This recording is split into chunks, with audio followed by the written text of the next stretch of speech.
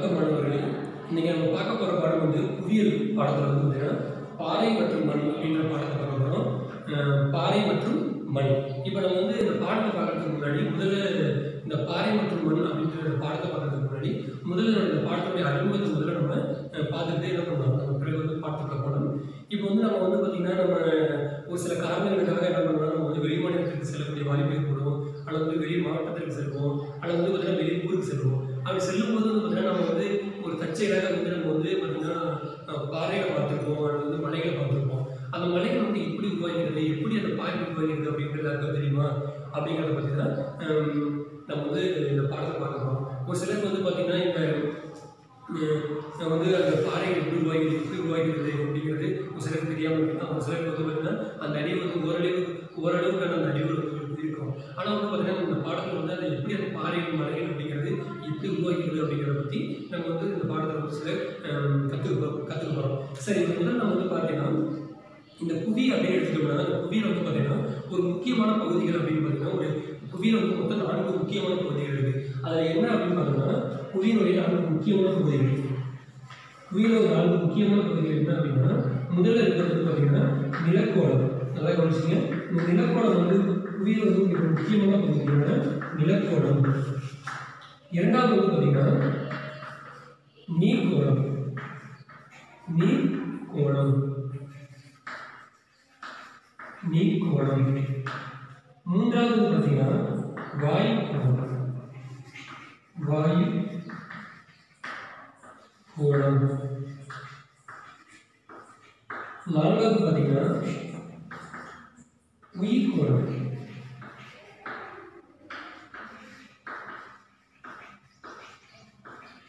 இதுதான் வந்து புவியில் வந்து இருக்கக்கூடிய நான்கு முக்கியமான பகுதிகள். புவியினுடைய நான்கு முக்கியமான பகுதிகள் என்ன அப்படின்னு பார்த்தோம்னா முதல்ல இருக்கிறது நிலக்கோணம் இரண்டாவது நீர்க்கோணம் மூன்றாவது வாயு கோணம் நான்காவது புவிக்கோணம் இதுதான் புவியினுடைய நான்கு முக்கியமான பகுதிகள் அப்படின்னு சொல்லுவோம் இது வந்து பார்த்தீங்கன்னா இந்த நிலக்கோணம் அப்படிங்கிறது ரொம்ப அதிலே இருக்கக்கூடிய பகுதியில் ரொம்ப முக்கியமான பகுதி அப்படின்னு சொல்லுவோம் சரி இப்போ முதல்ல வந்து ஒவ்வொரு கோணம் இப்போ நிலக்கோணம் அப்படின்னா என்ன அப்படின்னு பார்க்கலாம் பார்க்கணும் அப்படிங்கிறது என்ன அப்படின்னா இப்போ வந்து நிலக்கோளம் அப்படிங்கிறது பார்த்தீங்கன்னா புவியில் இருக்கக்கூடிய மேலோடு புவி மேலோடு. அல்லது மேலோடு சொல்லுவோம். மேலோடுனா புவி மேலோடு அர்த்தம். புவி மேலோடு மற்றும் வெளிக்கவசம் இப்போ வந்து நம்ம வெளிக்கவசம் அப்படிங்கிறது வந்து வெளிக்கவசம் இப்போ வந்து பார்த்தீங்கன்னா இந்த மேலோடு வெளிக்கவசம் அப்படிங்கிறது என்ன அப்படிங்கிறது முதல்ல என்னங்கிறது பிறகு பார்க்கலாம். முதல்ல நிலக்கோளம் அப்படிங்கிறது என்னன்னு முதல்ல பார்த்துக்கலாம். அப்போ வந்து நிலக்கோளம் என்னன்னா மேலோடு வெளிக்கவசம் சேர்ந்ததை என்ன சொல்லுவோம்? நிலக்கோளம் சொல்லுவோம். அப்ப என்னன்னா மேலோட்டையும் வெளிக்கவசத்தையும் சேர்த்து என்ன சொல்லுவோம். நிலக்கோளம் சொல்லுவோம். அடுத்தது நீர்க்கோளம் அப்படின்னு என்ன? நீர்க்கோளம் அப்படிங்கிறது என்னன்னா இப்போ வந்து பெருங்கடல்கள். இப்போ வந்து பெருங்கடல்கள். பெருங்கடல்கள் அப்புறம் வந்து பார்த்தீங்கன்னா சிறுகடல்கள் கடல் வந்து சிறுகடல்கள் இருக்கு அது. அப்புறம் வந்து பார்த்தீங்கன்னா இந்த ஆறுகள்.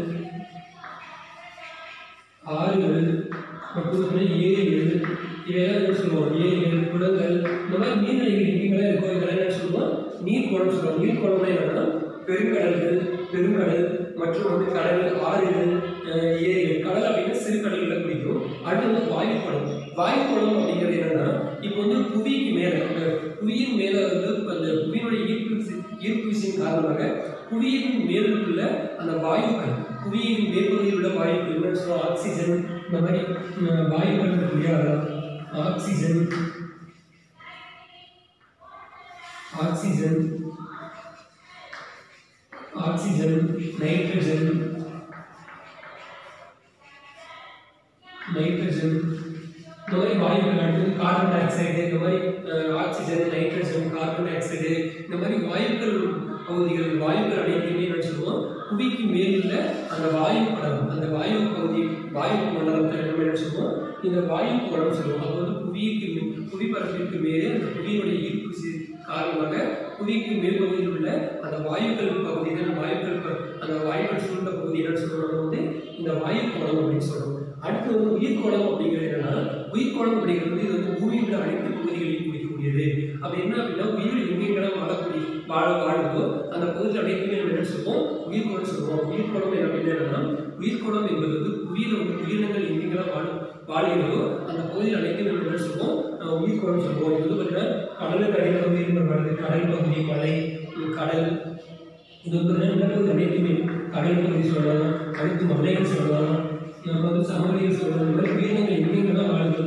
இந்த மாதிரி அப்புறம் வந்து பார்த்தீங்கன்னா இந்த அப்புறம் வந்து, அஹ், சொல்லிக்கிட்டே போகலாம். அந்த மாதிரி உயிரினங்கள் எங்கெங்கெல்லாம் இருக்குதோ அந்த பகுதியில் அனைத்துமே என்ன சொல்லுவோம் வந்து நம்ம உயிர் கோளம்னு சொல்லுவோம் இதுதான் வந்து பார்த்தீங்கன்னா இந்த மாதிரி வந்து புவியில் இருக்கக்கூடிய ஒரு நாலு முக்கியமான பகுதிகள் அப்படின்னு சொல்கிறோம் அப்போ வந்து பார்த்தீங்கன்னா புவியில் நாலு முக்கியமான பகுதி என்ன அப்படின்னா முதல்ல வந்து நிலக்கோளம் இரண்டாவது வந்து உயிர்கோளம் மூணாவது வந்து வாயுக்கோளம் அடுத்து வந்து உயிர்கோளம் இதுதான் வந்து பார்த்தீங்கன்னா புவியினுடைய நான்கு முக்கியமான பகுதிகள் சொல்கிறோம் அது வந்து நிலக்கோளம் அப்படிங்கிறது பார்த்தீங்கன்னா அந்த நான்கு கோளங்களிலே ஒரு முக்கியமான பகுதின்னு சொல்ல முடியுதுன்னா நிலக்கோளம் சரி இப்போ நம்ம அடுத்து பார்க்கப்படக்கூடிய பார்க்கக்கூடியது என்னன்னா பாறைகள் அப்படின்னா என்ன?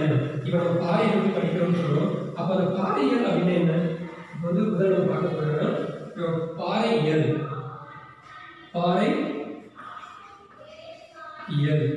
பாறையியல் அப்படின்னா என்ன இந்த பாறையியல் அப்படின்னா என்னன்னா இப்போ வந்து பாறைகளை பற்றி ஆய்வு செய்யக்கூடியது. பாறைகளை பற்றி ஆய்வு செய்யக்கூடியது. இப்போ வந்து பாறைகள் எவ்வாறு உருவாகிறது? பாறைகள் வந்து எவ்வாறு எத்தனை வகையான பாறைகள் வந்து புவியில் இருக்குது? அந்த பாறைகள்லாம் எவ்வாறு உருவாகிறது? இதை பற்றி ஆய்வு செய்வது இதை பற்றி படிப்பது தான் என்ன சொல்லுவோம் நம்ம வந்து பாறைகள் பாறையியல் அப்படின்னு சொல்லுவோம். இது ஆங்கிலத்தில் வந்து பார்த்தீங்கன்னா பெட்ராலஜின்னு சொல்லுவோம். என்ன சொல்லுவோம்? பெட்ராலஜி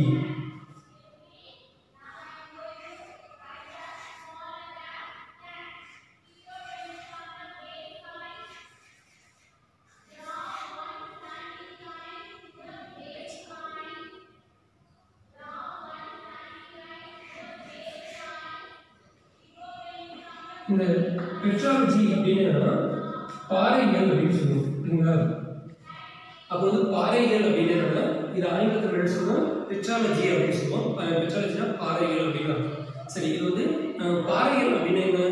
பாறைகள்னா பாறையை பற்றி ஆய்வு செய்வது. பாறைகளை பற்றி ஆய்வு செய்வது. அப்படின்னா பாறைகளை பற்றி ஆய்வு செய்வது. பாறைகளை பற்றி ஆய்வு செய்வது என்ன சொல்லுவோம்? பாறை என்று சொல்லுவோம். பாறைகளை பற்றி ஆய்வு செய்வது.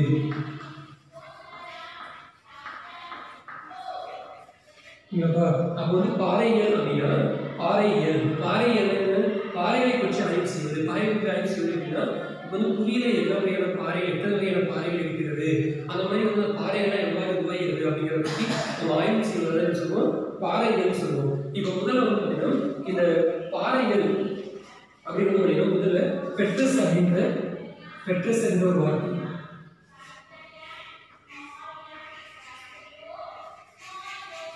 பெட்ரஸ்.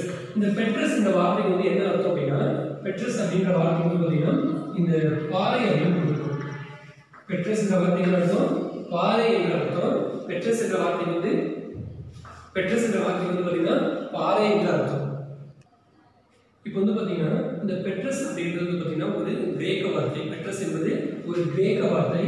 இது வந்து பார்த்தீங்கன்னா பெட்ரஸ் அப்படின்றது ஒரு கிரேக்க வார்த்தை. இது வந்து கிரேக்க மொழிச்சு கிரேக்க மொழிச்சு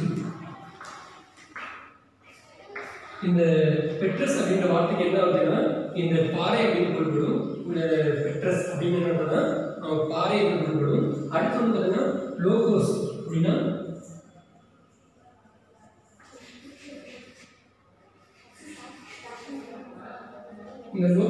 அப்படின்னா படிப்பது அப்படின்னு அர்த்தம்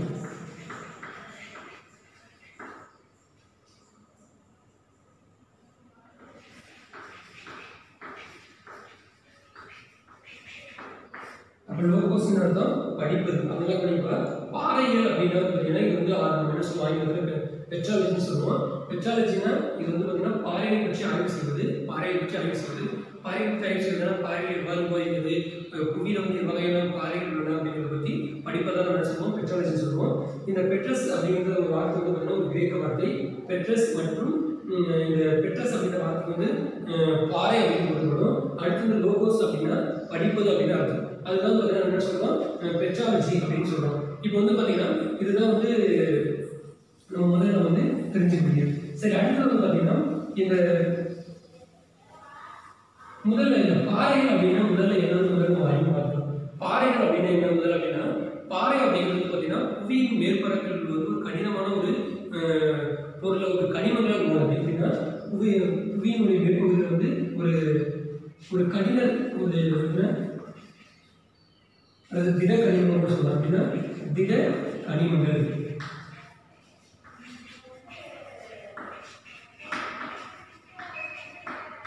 அப்படின்னா பாறைகள் அப்படிங்கிறது என்ன அப்படின்னா பாறைகள் அப்படிங்கிறது வந்து பார்த்தீங்கன்னா புவியினுடைய மேற்பரப்பில் வந்து திடமான கனிமங்களால் உருவானது. திடமான கனிமங்களால் உருவானது அப்படின்னு சொல்றோம். இது வந்து பார்த்தீங்கன்னா பாறைகள் எப்படி உருவாகுது? திடமான கனிமங்களால் உருவாக்கப்பட்டிருக்கு அப்படின்னு சொல்றோம். இது வந்து பார்த்தீங்கன்னா இந்த பாறைகள் அப்படிங்கிறது வந்து பார்த்தீங்கன்னா இது வந்து பார்த்தீங்கன்னா ஒன்று அல்லது ஒன்றுக்கு மேற்பட்ட கனிமங்களாலும் உருவாக்கப்படுகிறது. இது வந்து பாறைகள் அப்படிங்கிறது ஒரே ஒரு கனிமம் மட்டும் இருக்காது.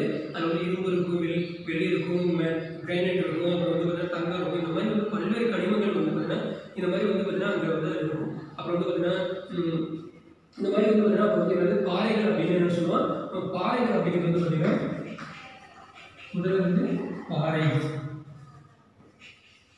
பாறை. அப்போ வந்து பாறைகள் வந்து எப்படி உருவாகிறது? பாறைகள் அப்படிங்கிறது திட கனிமங்களால் இது வந்து உருவாக்க திட இது வந்து புவி மேற்பரப்பில் வந்து இது உருவாக்கப்படுகிறது அப்படின்னு பார்க்கலாம் இது வந்து பார்த்தீங்கன்னா இது இந்த பாறைகள் வந்து பார்த்தீங்கன்னா நம்ம புவியில் மட்டும்தான் இருக்கு அப்படின்னு இல்லை மற்ற பொருள்களிலும் வந்து இந்த பாறைகள் வந்து இருக்கு. அப்போ மற்ற பொருள் இருப்பது போலவே வந்து என்ன வந்து புவியில் வந்து புவியின் மேற்பரப்பில் வந்து பார்த்தீங்கன்னா ஒரு திடமான கனிமங்களால் வந்து உருவாக்கப்பட்டது என்னன்னா இந்த பாறைகள். அப்போ இந்த பாறைகள் அப்படிங்கிறது எப்படி உருவாகுது அப்படின்னா திட கனிமம் உருவாகுது அப்படின்னு சொல்றோம். அப்போ இது வந்து பார்த்தீங்கன்னா ஒன்று அல்லது ஒன்றுக்கு மேற்பட்ட கனிமங்களாலும் இது வந்து உருவாக்கப்படுகிறது அப்படின்னு சொல்கிறோம் சரி இந்த இந்த பாறை பகுதி நம்ம என்ன சொல்லுவோம் இந்த பா- இந்த பாறை குளத்தை வந்து நம்ம நிலக்கோளம் கூட சொல்லுவோம். இந்த பாறை குழந்தை சொல்லுவோம்? அஹ் இந்த நில வந்து சொல்லுவோம்? இந்த நிலக்கோளத்தை என்ன சொல்லுவோம்? நிலக்கோளம். நிலக்கோளம்னு சொல்லுவோம் இல்லையா? நிலக்கோடம் இந்த நிலக்கோடத்தை என்ன சொல்லுவோம் பாறை கோளம் கூட சொல்லுவோம் பாறை கோளம் அப்போ வந்து பார்த்தீங்கன்னா இந்த நிலக்குளத்தை என்ன சொல்லுவாங்க? பாறை கோலம் கூட சொல்லலாம். அப்போ வந்து நிலக்குளத்துக்கு ஒரு பேர் என்னது? பாறை கோலம் அப்போ வந்து பாறைகள் எப்படி உருவாக உருவாக்கப்படுகின்றன? பாறைகள் வந்து பார்த்தீங்கன்னா எப்படி உருவாக்கப்படுகின்றன அப்படின்னா அது வந்து திடமான கனிமங்கள் திடமான கனிமங்கள் வந்து ஒன்று சேர்ந்து என்ன பண்ணுறது இந்த பாறைகள் வந்து உருவாகிறது அப்படின்னு சொல்கிறாங்க இது வந்து பார்த்தீங்கன்னா இதில் வந்து திடமான கனிமங்கள் அதில் இருக்கும். அடுத்து வந்து பார்த்தீங்கன்னா இதில் வந்து கனிமங்கள் வந்து பார்த்தீங்கன்னா ஒன்று அல்லது ஒன்றுக்கு மேற்பட்ட கனிமங்கள் இருக்கும் அப்படின்னு சொல்கிறாங்க இப்போ வந்து பார்த்தீங்கன்னா புவியில் வந்து பார்த்தீங்கன்னா இரண்டாயிரம் வகையான கனிமங்கள் வந்து இருக்கிறது அப்படின்னு கண்டுபிடிச்சிருக்காங்க. இது பார்த்தீங்கன்னா இரண்டாயிரம் வகையான கனிமங்கள். இரண்டாயிரம் வகை கனிமங்கள். அப்போது பார்த்தீங்கன்னா அஹ், புவியில் வந்து பார்த்தீங்கன்னா இரண்டாயிரம் வகையான கனிமங்கள் வந்து புவியில் இருப்பதாக கண்டுபிடிச்சிருக்காங்க. இதுதான் வந்து பாறையை பற்றி நம்ம வந்து தெரிஞ்சுக்க முடியுது. பாறையில் வந்து பார்த்தீங்கன்னா ஒன்றுக்கு கனிமங்கள் இருக்கும் அது திட கனிமங்கள் போனது இது வந்து புவியின் மேற்பரப்பில் வந்து ஒரு அஹ், ஒரு பாறையாக உருவாகுது அப்படின்னு சொல்லி நம்ம பார்க்கலாம் அடுத்து வந்து இரண்டாயிரம் வகையான கனிமங்கள் வந்து இந்த புவியில் வந்து இருக்கிறதா சொல்லி நம்ம கண்டுபிடிச்சிருக்காங்க. அடுத்து வந்து பார்த்தீங்கன்னா நம்ம பாறையை பற்றி பார்க்கறதுக்கு முன்னாடி அதை பற்றி ஒரு ஆய்வு வந்து நம்ம முதல்ல பார்த்துக்கலாம் பாறையை பற்றிய ஒரு ஆய்வு. எப்படின்னா இந்த முதல்ல வந்து பார்த்தீங்கன்னா ஒரு அமெரிக்க நாடு. என்னன்னா இந்த பாறையை பற்றி நம்ம வந்து ஆய்வு செய்யும்போது இந்த பாறை சம்பந்தமான ஒரு செய்தி வந்து இருந்துச்சுன்னா அமெரிக்க நாடு நம்ம அமெரிக்க நாடு யுஎஸ்ஏன்னு சொல்லுவோம் அமெரிக்க நாடு. இந்த அமெரிக்க நாடு என்ன பண்ணியிருக்காங்க அமெரிக்கா. இந்த நாடு என்ன பண்ணியிருக்காங்க ஆயிரத்தி எழுநூத்தி எழுபத்தி ஏழாம் ஆண்டு.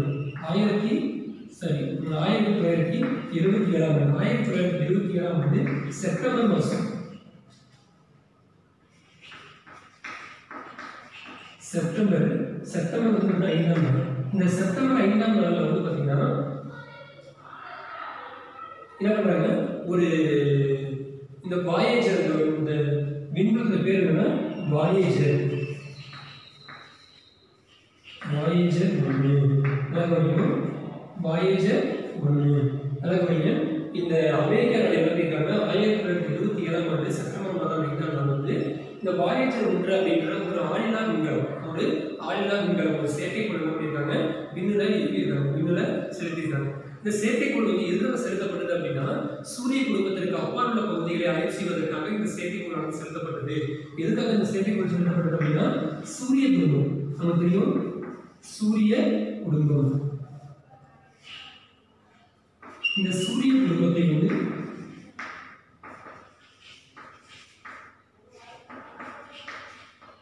சூரிய குடும்பம். இந்த சூரிய குடும்பத்தை வந்து ஆய்வு செய்வதற்காக என்ன பண்றாங்க? ஒரு ஒரு ஆழ்லா விண்கலம் அந்த விண்கலோட பேர் வந்து வாயேஜர் ஒன்று அப்படின்ற விண்கலத்தை என்ன பண்ணியிருக்காங்க? செலுத்தியிருக்காங்க. அப்படி இந்த இந்த விண்கலம் வந்து பார்த்தீங்கன்னா சூரிய குடும்பத்திற்கு வெளியே செல்வதற்கு வந்து பார்த்தீங்கன்னா மொத்தம் இருபத்தி ஆறு ஆண்டுகள் வந்து என்ன பண்ணியிருக்காங்க? எடுத்துக்கொண்டது. இந்த வருஷம் இருபத்தி ஆறு ஆண்டுகள். இருபத்தி ஆறு வருஷம் என்ன பண்ணுறாங்க அந்த அந்த விண்கலம் வந்து சூரிய குடும்பத்திற்கு வெளியே செல்வதற்கு இருபத்தி ஆறு ஆண்டுகள் வந்து எடுத்துக்கொண்டது அப்படின்னு நம்ம தெரிஞ்சுக்கணும். சரிப்பா இதையே நம்ம சொல்லணும் அப்படின்னு இதையே நம்ம வந்து ஞாபகப்படுத்துறோம் அப்படின்னா ஒரு முக்கியமான ஒரு ஒண்ணு தெரிஞ்சுக்கணும். இதே வந்து பார்த்தீங்கன்னா இதே சூழ்நிலையில் இந்த காலகட்டம் வந்து பார்த்தீங்கன்னா ஒரு ரஷ்யாங்கிற ஒரு நாடு தெரியும். அந்த ரஷ்ய மக்கள் என்ன பண்ணுறாங்க புவியில் வந்து ஒரு துளையிடுறாங்க. என்ன பண்ணுறாங்க துளையிட மாட்ட போகிறாங்க அவங்க பார்த்தீங்கன்னா வெறும் வந்து பார்த்தீங்கன்னா வெறும் பன்னெண்டு புள்ளி மூணு மீட்டர் தான் என்ன பண்ணிருக்காங்க? சரி பன்னெண்டு புள்ளி மூணு கிலோமீட்டர் தான். யாருன்னா ரஷ்யர்கள். ரஷ்யர்கள் என்ன பண்ணுறாங்க ரஷ்யர்கள்னா ரஷ்ய நாட்டை சொல்லுவாங்க ரஷ்யர்கள் என்ன பண்ணுறாங்க இவங்க வந்து பார்த்தீங்கன்னா ஆயிரத்தி தொள்ளாயிரத்தி இருபதாம் ஆண்டிலிருந்து ஆயிரத்தி தொள்ளாயிரத்தி தொண்ணூத்தி ஆறாம் ஆண்டு வரைக்கும் இவங்க கிட்டத்தட்ட வந்து பார்த்தீங்கன்னா இருபத்தி நாலு வருஷம். அந்த இருபத்தி நாலு வருஷம் என்ன பண்ணியிருக்காங்க வெறும் வந்து பார்த்தீங்கன்னா பன்னெண்டு புள்ளி மூணு கிலோமீட்டர் தான் என்ன பண்ணியிருக்காங்க கிலோமீட்டர் என்ன பண்ணியிருக்காங்க அந்த ஆழம் வந்து பறிச்சிருக்காங்க அந்த குழி தோண்டிருக்காங்க. அப்போ வந்து புவியின் அடியில் என்ன பண்ணியிருக்காங்க புவியின் அடியில் வந்து வெறும் பன்னிரெண்டு புள்ளி மூணு கிலோமீட்டர் அந்த ஆழத்தை அந்த ஓடுவதற்கு என்ன பண்ணிருக்காங்க? இருபத்தி நாலு ஆண்டுகளுக்கு எடுத்திருக்காங்க. இருபத்தி நாலு ஆண்டுகளை எடுத்திருக்காங்க. எடுத்துக்கொண்டிருக்காங்க இன்னும் இருபத்தி நாலு ஆண்டுகள் சேமிக்கிறாங்க அப்ப நம்ம இது என்ன இது அப்ப வந்து ரசிகர் என்ன பண்ணிருக்காங்க? ஆயிரத்தி தொள்ளாயிரத்தி எழுபதாம் ஆண்டுல இருந்து ஆயிரத்தி தொள்ளாயிரத்தி தொண்ணூத்தி நாலாம் ஆண்டு அந்த இருபத்தி நாலு ஆண்டுகள் இடைப்பட்ட காலத்துல என்ன பண்ணியிருக்காங்க ஃபீல் என்ன பண்ணியிருக்காங்க துளையை துளையிட்டு இருக்காங்க ஒரு குடிபறிச்சிருக்காங்க இது வந்து பாத்தீங்கன்னா இது இவங்க வெறும் வந்து பார்த்தீங்கன்னா பன்னிரெண்டு புள்ளி மூணு கிலோமீட்டர் ஆழம் வரைக்கும் தான் குடிபறிச்சிருக்காங்க ஆனா அந்த வெறும் பன்னிரெண்டு புள்ளி மூணு கிலோமீட்டர் ஆழத்தை பறிக்கிறதுக்கு பறிப்பதற்கு என்ன பண்ணிருக்காங்க இருபத்தி நாலு ஆண்டுகள் வந்து அவங்க எடுத்து செலவிட்டிருக்காங்க. செலவிட்டு அப்ப இருந்து நம்ம என்ன தெரியுது அப்படின்னா புவிங்கிறது ரொம்ப ஒரு கடினமான பகுதி. அப்போ வந்து புவி உள்ள பகுதிங்கிறது ஒரு எளிமையான பகுதிகள் இல்லை அப்படிங்கிறத நம்மளால வந்து கொள்ள முடியும். இந்த பகுதி வந்து பாத்தீங்கன்னா இந்த இவங்க வந்து அந்த துளையிட்ட பகுதி வந்து பாத்தீங்கன்னா கோலா சூப்பர் ஆழ்மலை இருக்கிற அந்த இடத்துக்கு என்ன பேர் அப்படின்னா அந்த இடத்துக்கு என்ன பேர் அப்படின்னா கோலா சூப்பர் கோலோ கோலோ சூப்பர் ஆழ்மலை அப்போ வந்து பார்த்தீங்கன்னா இந்த கோலோ சூப்பர் ஆழ்மலைங்கிறது அவர்கள் உருவா- அவரை உருவாக்கிய அந்த அந்த ஆழ்மலையுடைய பேர் என்னது? கோலோ சூப்பர் ஆழ்மலை அப்படின்னு பேர். இதை வந்து நம்ம அந்த ஆழ்மலை வந்து பார்த்தீங்கன்னா இது அந்த அந்த ஆழமான பகுதி இல்லையா? அந்த ஆழமான பகுதி இல்லையா? அந்த பகுதிக்கு வந்து பார்த்தீங்கன்னா நட்சத்திர வழி அப்படின்னு ஒரு பேர் இருக்கு. நட்சத்திர வழி. நட்சத்திர வழின்னு இந்த புவியில் ஆழமான பகுதி வந்து புவியில் ஆழமான பகுதி இந்த புவியில் ஆழமான பகுதி எனக்கு நட்சத்திர வழியின் பேரு. அந்த அவர்கள் வந்து குடிபறித்த தந்த அந்த ஆழ்மலைக்கு என்ன பேர் அப்படின்னா கோலோ சூப்பர் ஆழ்மலை அப்படின்னு பேர். கோலோ சூப்பர் ஆழ்மலை அப்படின்னு பேர். அப்போ இந்த மாதிரி வந்து பார்த்தீங்கன்னா புவிங்கிறது இந்த இந்த ஒரு கடினமான பகுதி அப்படிங்கிறத நம்ம தெரிஞ்சுக்கணும். சரி இப்போ வந்து பார்த்தீங்கன்னா இந்த புவியில் வந்து பார்த்தீங்கன்னா இப்போ வந்து ஒரு பாறைகள் வந்து நகரும் நகரும் செயல் வந்து ஏற்படுது. பாறைகள் வந்து நகரும் அல்லது இடம்பெறும் செயல் வந்து ஏற்படுது. அதுக்கு வந்து பார்த்தீங்கன்னா அதுக்கு வந்து பார்த்தீங்கன்னா அது செயல்முறை வந்து பார்த்தீங்கன்னா ஒட்டுரி அஹ், ஒட்டுரு அழிதல் பேர். நல்லா கவனிங்க. ஒட்டுரு அழிதல் அப்படின்னு என்னன்னா ஒட்டுரு அழிதல் ஒட்டுரு அழிதல் ஒட்டுரு அழிதல் அப்படின்னு என்னன்னா நல்லா கவனிங்க. ஒட்டுறுதல் அழிதல் ஒட்டுரு அழிதல் அப்படின்னு என்னன்னா இப்போ வந்து புவி அந்த பாறை வந்து நகருது பாறை நகருதல் மற்றும் இடம்பெறும் நிகழ்வு அந்த செயல்முறைக்கு பாறை வந்து நகரும் மற்றும் இடம்பெறும் செயல்படுகிறது பாறை வந்து நகருதல் மற்றும் இடம்பெயர்தல். மற்றும் இடம்பெயர்தல். இடம்பெயர் இந்த செயல்முறைக்கு என்ன பேர்? பாறை வந்து நகர்தல் மற்றும் இடம்பெயர்தல் செயல்முறை செயல்முறைக்கு என்ன பேர் அப்படின்னா ஒட்டுறு அழிதல் அப்படின்னு பேர். ஒட்டுது அழிதல் பேர். இந்த ஒட்டுறுதல் அழிதல்ங்கிற இந்த செயல்முறை வந்து இரண்டு செயல்முறை கொண்டது. ஒட்டுறு அழிதல்ங்கிறது இரண்டு செயல்முறை அழிதல் பொது ஒரு பாறை நகரம் இல்லையா? அந்த நகர்கள் மற்றும் இடர்களுக்கு நடத்த இடம்பெயர்தல் அந்த அந்த செயல்முறைக்கு என்ன பேர்? ஒட்டுறு அழிதல் பேர். நல்லா கவனிக்கணும். அடுத்து வந்து பார்த்தீங்கன்னா ஒட்டுறு அழிதல் ஒட்டுறு அழிதல் அப்படிங்கிறது வந்து பார்த்தீங்கன்னா இரண்டு செயல்முறை கொண்டது. ஒன்று வந்து வந்து ஒன்று வந்து பார்த்தீங்கன்னா கண்டாக்க நகர்வுன்னு சொல்லுவோம். என்னது? கண்ட நகர்வு. ஒன்று பார்த்தீங்கன்னா நகர்வு. கண்டாக்க நகர்வு மலையாக்க நகர்வு. கண்டாக்க நகர்வு. மலையாக்க நகர்வு. மலையாக்க நகர்வு. இது வந்து பார்த்தீங்கன்னா அந்த ஒட்டூர் அணியினுடைய இரண்டு செயல்முறை என்ன அப்படின்னா கண்டா கலர்கள் இன்னொன்று வந்து மலையா கலர்கள் அப்படின்னா அந்த கண்டா வந்து பார்த்தீங்கன்னா அந்த கண்டங்கள் இப்போ அந்த நிலக்கட்டு இல்லையா? அது வந்து நகரும். இப்போ வந்து பார்த்தீங்கன்னா முன்னாடி நம்ம பார்த்துருக்கோம் இப்போ வந்து அந்த கண்டம் அப்படிங்கிறது வந்து முன்னாடி வந்து ஒன்றாக இருந்தது அப்படின்னு சொன்னாங்க. இப்போ வந்து பார்த்தீங்கன்னா கண்டங்கள் வந்து முன்னாடி வந்து ஒன்றாக இருந்தது. அதுக்கப்புறம் பல்வேறு காலகட்டங்கள் வந்து பார்த்தீங்கன்னா பல மில்லியன் ஆண்டுகளுக்கு பிறகு வந்து என்ன நினச்சி அந்த கண்டம் வந்து ஒன்று பிரிந்து சென்றது அப்படின்னு படிச்சிருக்கோம். அப்போ வந்து பார்த்தீங்கன்னா இதுதான் வந்து உதாரணம் சொல்லுவோம் அப்போ வந்து பார்த்தீங்கன்னா மலையா கிடக்கிறோம் மலை வந்து அது வந்து பார்த்தீங்கன்னா நகர்கிறது இதை போய் வந்து என்ன சொல்லுவோம்? இது வந்து உதாரணம் சொல்லுவாங்க என்ன செய்முறை? ஒட்டூர் அணிதல் செயல்முறை அப்படின்னு சொல்லி சொல்றோம். இப்போ வந்து இந்த மாதிரி வந்து பார்த்தீங்கன்னா பாறைகள் என்ன அப்படி நமக்கு வந்து பார்த்தீங்கன்னா பாறை என்ன வேலை தெரிஞ்சுக்கணும். இப்போ வந்து பார்த்தீங்கன்னா இப்போ நம்ம வந்து பாறையினுடைய இப்போ வந்து பார்த்தீங்கன்னா இப்போ நம்ம பார்க்க போகிறது வந்து பார்த்தீங்கன்னா புவியினுடைய உள்ளமைப்பு முதல்ல பார்க்கணும் இப்போ வந்து பார்த்தீங்கன்னா அப்போ தான் வந்து நம்ம முதல்ல ஒரு பாடம் வந்து புரியணும் முதல்ல வந்து பார்த்தீங்கன்னா புவியினுடைய உள்ளமைப்பு புவியின் உள்ளமைப்பு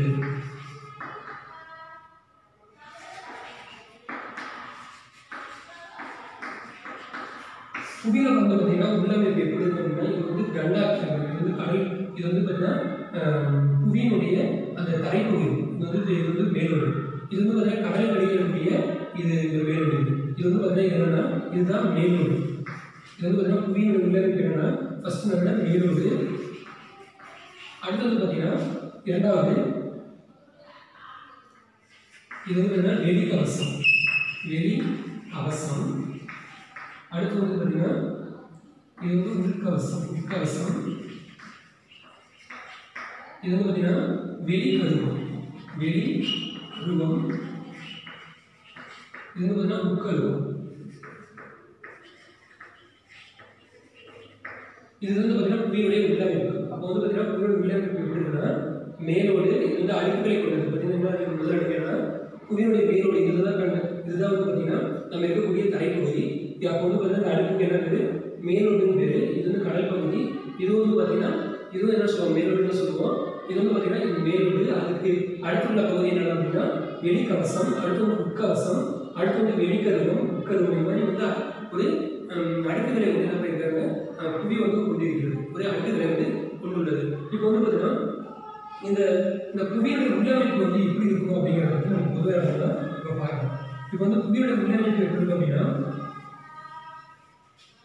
இந்த புவியினுடைய உள்ளமைப்பில் இந்த புவியுடைய உள்ளமைப்பில் வந்து பார்த்தீங்கன்னா கனிமங்கள் வந்து பார்த்தீங்கன்னா பொதுவாக பார்த்தீங்கன்னா அந்த கனிமங்கள் வந்து திட வடிவிலும் திட வடி வடிவிலும் இருக்கும் அல்லது வழிகளும் வடிவிலும் இருக்கும். அப்போ வந்து முதல்ல வந்து புவியோட உள்ளமைப்புல புவிக்குள்ள வந்து பார்த்தீங்கன்னா கனிமங்கள் வந்து திட வடிவ வடிவிலும் இருக்கும். அடுத்தது வந்து இரண்டாவது வந்து பார்த்தீங்கன்னா திரவ வடிவிலும் இருக்கும். அப்போ வந்து என்னது?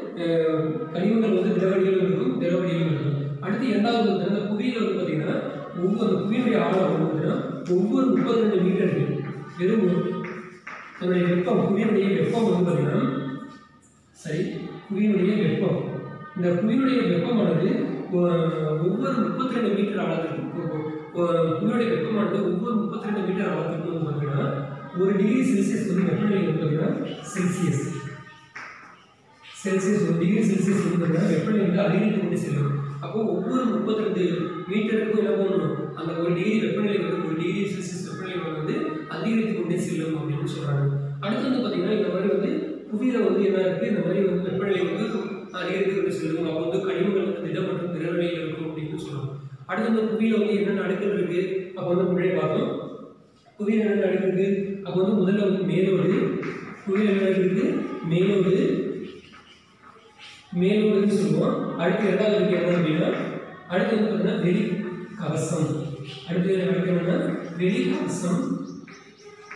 அடுத்து பார்த்தீங்கன்னா மூன்றாவது இருக்கு என்ன அப்படின்னா உட்கவசம் கவசம் உட்கவசம் அடுத்தது பார்த்தீங்கன்னா நான்காவது வந்து வெளி கருவம். வெளி கருவம். ஐந்தாவது பார்த்தீங்கன்னா உட்கருவம் இதுதான் பார்த்தீங்கன்னா புவியுடைய உள்ளமைப்பு. இதுதான் பார்த்தீங்கன்னா புவியுடைய உள்ளமைப்பு மாதிரி இந்த மாதிரி இருக்கும். சரிப்பா. அடுத்து நம்ம பார்க்க போகிறது இப்போ வந்து முதல்ல நம்ம பார்க்க போகிறது புவியினுடைய மேலோடு பற்றி முதல்ல பார்க்கலாம். புவியினுடைய மேலோடு. இந்த புவி மேலோடு பற்றி முதல் வேலை பார்க்கலாம். இது வந்து பார்த்தீங்கன்னா ஆங்கிலத்தில் வந்து பார்த்தீங்கன்னா கிரஸ்ட்னு சொல்லுவோம். என்ன சொல்லுவோம்? கிரஸ்ட் இது வந்து பார்த்தீங்கன்னா ஆங்கிலத்தில் வந்து கிரஸ்ட்னு சொல்லுவோம். இது வந்து என்னது? புவி மேலோடு. இந்த புவி மேலோடு அப்படிங்கிறது பார்த்தீங்கன்னா இந்த புவி மேலோடுங்கிறது வந்து இரண்டு இரண்டு பிரிவை கொண்டது. புவி மேலோடுங்கிறது பிரிவை கொண்டது இரண்டு பிரிவை கொண்டது.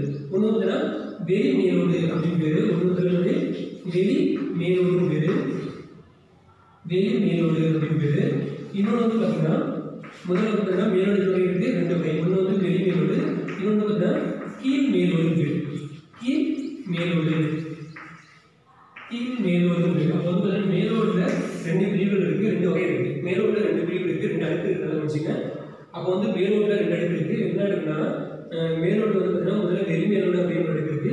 இன்னும் வந்து பார்த்தீங்கன்னா கீழ் மேலோடு அப்படின்னு இன்னொரு அடுக்கு இருக்கு அப்புறம் ரெண்டு அடுக்கு இருக்கு இந்த வெளி மேலோட நம்ம என்ன சொல்லுவோம்னா கண்ட அடுக்கு கண்ட ஓடு அது கண்ட ஓடுன்னு சொல்லுவோம். என்ன சொல்லுவோம்? கண்ட ஓடுன்னு சொல்லுவோம். நல்லா கவனிங்க. வெளி என்ன சொல்லுவோம்? கண்ட ஓடு அப்படின்னு சொல்லுவோம். இது வந்து பார்த்தீங்கன்னா அடுத்து கீழ் மேலோடு வந்து பார்த்தீங்கன்னா பெருங்கடல் மேலோடுன்னு சொல்லுவது பெருங்கடல் மேலோடு. பெருங்கடல் பெருங்கடல் மேலோடு. நல்லா கவனிங்க. அப்போ வந்து பார்த்தீங்கன்னா வெளி மேலோட வந்து கண்டகம் சொல்லுவோம். கீழ் மேலோட வந்து என்ன சொல்லுவோம்? பெருங்கடல் மேலோடு சொல்லுவோம். அப்போ வந்து இந்த வெளி மேலோட இல்லையா? வந்து பார்த்தீங்கன்னா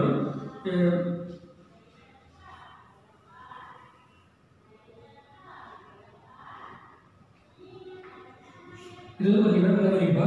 இது வந்து பார்த்தீங்கன்னா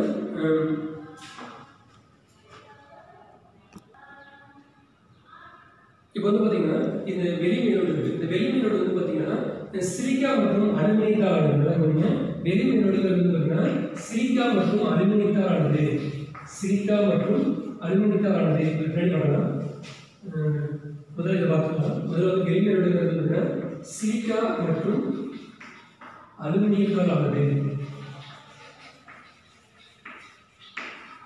நல்லா கவனிங்க அப்போ அப்போ வந்து பார்த்தீங்கன்னா இது ஒரு அஹ், க- கனிமம் தெரியும். ஒரு உலோகங்கள் அப்போ வந்து பார்த்தீங்கன்னா இந்த வெறியும் மேலோடுங்கிறது ஒரு கண்ட உணவு ஒரு பேர் இருக்கு. அப்போ வந்து பார்த்தீங்கன்னா இந்த வெளிமேலோடு எதனால ஆனது எந்த உலகத்தால் ஆடுது அப்படின்னா இது வந்து சிலிக்கா மற்றும் அலுமினியம் அப்படின்ற உலகத்தால இந்த வெளிமேலோடுங்கிறது ஆடுது இந்த வெளிமேலோடு வந்து சிலிக்கா மற்றும் அலுமினியத்தால் ஆடுது அதே மாதிரி வந்து பார்த்தீங்கன்னா இந்த கீழ் மேலோடு இல்லையா? கீழ் மேலோடு. கீழ் மேலோடு. இந்த கீழ் மேலோடு வந்து பார்த்தீங்கன்னா இது வந்து பார்த்தீங்கன்னா சிலிக்கா மற்றும் சிலிக்கா சிலிக்கா மற்றும் மக்னீசியம் மக்னீசியம் இந்த உலோகத்தால் இது வந்து பார்த்தீங்கன்னா இந்த கீழ் மேலோடு வந்து பார்த்தீங்கன்னா சிலிக்கா மற்றும் மக்னீசியம் அப்படின்ற உலோகத்தால் இது வந்து சிலிக்கா மற்றும் அலுமினியத்தால் இது வந்து பார்த்தீங்கன்னா சிலிக்கா மற்றும் மக்னீசியம் என்ற இது இன்னொரு பேர் என்னது? பெருங்கடல் மேலோடு பேர். இன்னொரு பேர் என்னது? பெருங்கடல் மேலோடு. இங்க என்ன சொல்லியிருக்கேன் பெருங்கடல் மேலோடு. பெருங்கடல் மேலோடு இப்போ வந்து பார்த்தீங்கன்னா இந்த மேலோடு இந்த வெளி மேலோடு மற்றும் இந்த கீழ் மேலோடு இருக்கு பார்த்தீங்கன்னா இதனுடைய அடர்த்திங்கிறது மாறுபடும். அப்போ வந்து பார்த்தீங்கன்னா வெளி மேலோடு மற்றும் இந்த அந்த கீழ் மேலோடு அடர்த்தினா அடர்த்தினா என்னுடைய நெருக்கம். இப்போ வந்து அந்த துகளுடைய நெருக்கம் மனசுடைய நெருக்கம் இருக்கு அது வந்து பார்த்தீங்கன்னா வேறுபடும். இது வந்து பார்த்தீங்கன்னா ஒவ்வொரு இடத்துலையும் வந்து அந்த இந்த கீழ் மேலோட்டுக்கும் வெளி மேலோட்டுக்கும் இடையே இந்த வேறுபடும் அப்படின்னு சொல்லி சொல்கிறாரு அடுத்து வந்து பார்த்தீங்கன்னா இந்த மேலோட்டினுடைய அஹ், தடிமன் பார்க்கணும். சரி தடிமன். இப்போ வந்து பார்த்தீங்கன்னா இதனுடைய தடிமன் இந்த இந்த கண்ட தடிமன் எப்படி இருக்கும் அப்படின்னு பார்த்தோம்னா கண்டவரோட தடிமன் எப்படி இருக்கும் பார்த்தோம்னா நடந்து வந்து என்ன விஷயம் இது வந்து பார்த்தீங்கன்னா கண்டவரோட தடிமன் சராசரியாக வந்து பார்த்தீங்கன்னா முப்பது கிலோமீட்டர் வரைக்கும் இருக்கும். முப்பது கிலோமீட்டர் ஆழம்.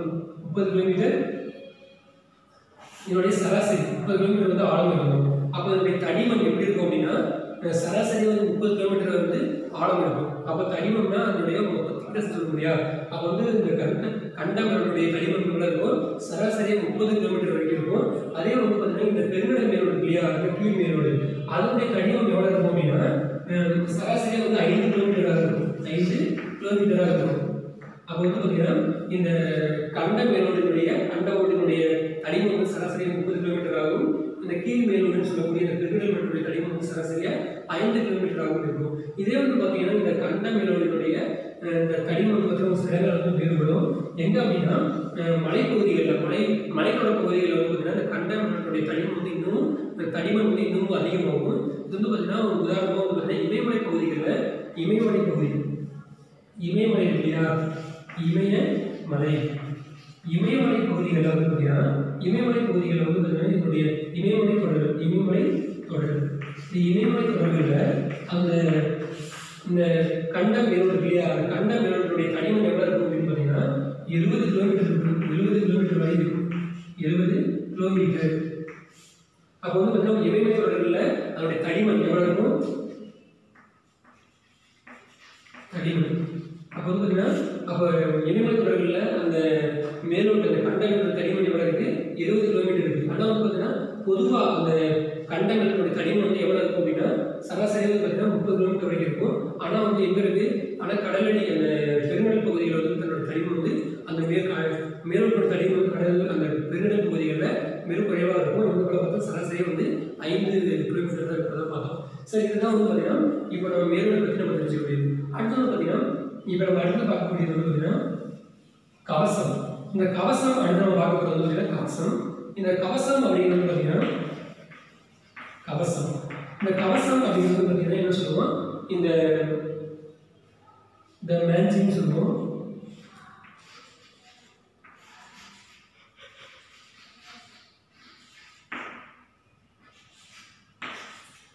இது வந்து பார்த்தீங்கன்னா இந்த கவசம் இது வந்து ஆங்கிலத்தில் மேட்சிங் சொல்லுவோம். இது வந்து பார்த்தீங்கன்னா இந்த இது இது வந்து பார்த்தீங்கன்னா இதுவும் சிரிக்கா இந்த கவசம் எப்படி உருவாக்கப்பட்டு எப்படி உருவாகிருக்கு அப்படின்னு எதாவது உருவாகிருக்கு அப்படின்னா சிலிக்கான்ற டைம் அனிமம் கனிமம் அப்படிங்கிறதையும் அடுத்து பார்த்தீங்கன்னா இரும்பு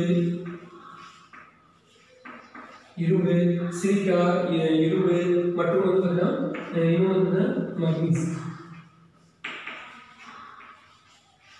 மக்னீசியம். இந்த தனிமங்களால் ஆனது என்னன்னா கவசம்ங்கிறது கவசம்ங்கிற அந்த அடுக்கு இருக்கு இல்லையா? அது வந்து எப்படி ஆனது எதனால் எந்த உலகத்தால் ஆனது அப்படின்னா இந்த இரும்பு மக்னீசியம் அப்படின்ற முகத்தால் ஆனது அப்படின்னு சொல்லுவோம் இது வந்து பார்த்தீங்கன்னா இது வந்து மிகவும் ஒரு கடின தன் தன்மையுடன் காணப்படும். கடினத்தன்மைனா மிகவும் வந்து பார்த்தீங்கன்னா ஒரு ஒரு கடினமான தன்மையுடன் இருக்கும். இது வந்து ஒரு இது வந்து பார்த்தீங்கன்னா முக்கியமாக வந்து பார்த்தீங்கன்னா இந்த கவசம் வந்து பார்த்தீங்கன்னா புவியின் புவியில் வந்து பார்த்தீங்கன்னா இரண்டாயிரத்தி தொள்ளாயிரம் கிலோமீட்டர் ஆழம் வரை காணப்படும். இரண்டாயிரத்தி தொள்ளாயிரம் கிலோமீட்டர் வரை கிலோமீட்டர் ஆழம் வரை காணப்படுது இதோடைய உம், இதோடைய ஆழம் வந்து புவியில் வந்து இதோடைய கவசம் வந்து எந்த எவ்வளவு வரைக்கும் எவ்வளவு வரைக்கும் இருக்கும் அப்படின்னா இரண்டாயிரத்தி தொள்ளாயிரம் கிலோமீட்டர் இரண்டாயிரத்தி தொள்ளாயிரம் கிலோமீட்டர் வரைக்கும் இதோடைய ஆழம் வந்து காணப்படும் அப்படின்னு சொல்றாங்க அப்போ வந்து பார்த்தீங்கன்னா இதில் வந்து மேல் பகுதி இருக்கு கவசத்திலே வந்து மேல் பகுதி ஒன்று இருக்கு அது வந்து பார்த்தீங்கன்னா அஸ்ட்ரோ அஸ்ட்ரோ ஸ்பியர் பேர் அஸ்ட்ரோ ஸ்பியர் பேர் இந்த மாதிரி பார்த்தீங்கன்னா இது வந்து இரண்டாயிரத்தி தொள்ளாயிரம் கிலோமீட்டர் வரைக்கும் ஆகும் வரை காணப்படும் அப்படின்னு நம்ம புரிஞ்சுக்கலாம் அடுத்து பார்த்தீங்கன்னா இதனுடைய அடுத்ததா இந்த இந்த கவசத்தில் வந்து பார்த்தீங்கன்னா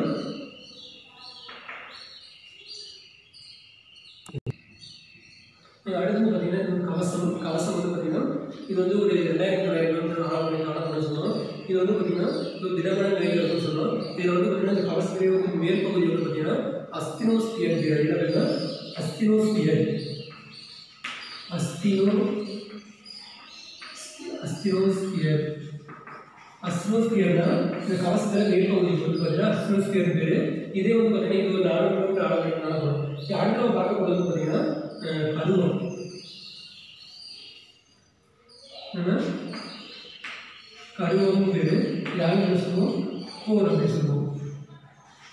கருவம் அப்படின்னு சொல்லுவோம் இந்த இது வந்து பார்த்தீங்கன்னா கருவம் இது வந்து பார்த்தீங்கன்னா கருவம் வந்து இரண்டு வகை இருக்கு. இரண்டு அடுக்கு கருவத்தில் இரண்டு பிரிவுகள் இருக்கு. அது வந்து பார்த்தீங்கன்னா ஒன்று வந்து பார்த்தீங்கன்னா வெளிக்கருவம் வெளி கருவம். இது வந்து பார்த்தீங்கன்னா உட்கருவம். உட்கருவம் அப்படின்னு இரண்டு பிரிவுகள் இருக்கு. இது வந்து பார்த்தீங்கன்னா இந்த இது வந்து கருவம் அப்படிங்கிறது பொதுவாக பார்த்தீங்கன்னா இதில் வந்து வெளிக்கருவம் வந்து கருவங்கிறது ஒரு திடநிலையில் இருக்கும். எப்படி இருக்குன்னா நிலையில் இருக்கும். இது வந்து எப்படி இருக்கும்? திடநிலையில் இருக்கும். திடநிலையில் இருக்கும். இதோட வெப்பநிலை வந்து பார்த்தீங்கன்னா பார்த்தீங்கன்னா வெப்பநிலை வந்து ஐயாயிரத்தி ஐநூறு ஐயாயிரத்தி ஐநூறு டிகிரி செல்சியஸ். ஐயாயிரத்தி ஐநூறு டிகிரி செல்சியஸ்லேருந்து ஆயிரம் டிகிரி செல்சியஸ் வரைக்கும் நடக்கும் இந்த வெப்பநிலை வந்து எவ்வளோ அப்படின்னா ஐயாயிரத்தி ஐநூறு டிகிரி செல்சியஸ்லேருந்து ஆறாயிரம் டிகிரி செல்சியஸ் வரைக்கும் இதனுடைய வெப்பநிலை வந்து இருக்கும். இந்த இந்த கருவில் வந்து பார்த்தீங்கன்னா இந்த இரும்பு அப்படிங்கிற உலகம் இருக்கும். இரும்பு நிக்கல் அப்படின்ற உலோகத்தால் ஆனது. இந்த இந்த எப்படின்னா இந்த இது வந்து பார்த்தீங்கன்னா இந்த உலோகத்துக்கு வந்து பார்த்தீங்கன்னா இரும்பு மற்றும் நிக்கல் இந்த உலோகத்தால் ஆனது. இதுக்கு வந்து இன்னொரு பேர் வந்து பார்த்தீங்கன்னா நைஃப் அப்படின்னு அழைக்கப்படுது. இதுக்கு என்ன பேர்? நைஃப் அப்படின்னு அழைக்கப்படுது. அப்படின்னா இந்த கருவம் அப்படிங்கிறது பார்த்தீங்கன்னா இது வந்து இரண்டு பிரிவு கொண்டது ஒரு வந்து வெளிக்கருவும் இன்னொரு வந்து உட்கருவும். இதனுடைய இது இருக்கும். இது வந்து பார்த்தீங்கன்னா இதனுடைய உள்ள உள்ள வெப்பம் வந்து பார்த்தீங்கன்னா ஐயாயிரத்தி ஐநூறு டிகிரி செல்சியஸ்ல ஆறாயிரத்தி ஆறாயிரம் வரைக்கான எப்படி வந்து அது வந்து பார்த்தீங்கன்னா இது வந்து இந்த கருவம் அப்படிங்கிறது இரும்பு ஒரு நிக்கலால் உருவாக்கப்பட்டுள்ளது இது வந்து லைஃப் பேர் இது வந்து பார்த்தீங்கன்னா இந்த கருவம் அப்படிங்கிறது பார்த்தீங்கன்னா ஒரு சராசரி வந்து சரி வந்து பார்த்தீங்கன்னா ஆறாயிரத்தி முந்நூற்றி முந்நூற்றி எழுபது கிலோமீட்டர் ஆழம் வரைக்கும் இது வந்து காணப்படும். ஆறாயிரத்தி முந்நூற்றி இருபது கிலோமீட்டர் ஆழம் வரைக்கும் காணப்படும். நன்றி மாணவர்களே இந்த பாட்டுக்கு வந்து நம்ம வந்து நம்ம பாறை பற்றி படிக்கிறதுக்கு முன்னாடி அந்த உள்ளமைப்பு பற்றி ஓரளவுக்கு தெரிஞ்சுக்கிட்டோம். அடுத்த நம்ம அடுத்த பாடத்தில் வந்து நம்ம என்ன பண்ணணும் பாறைகளை பற்றி நம்ம விரிவாக பார்க்கலாம்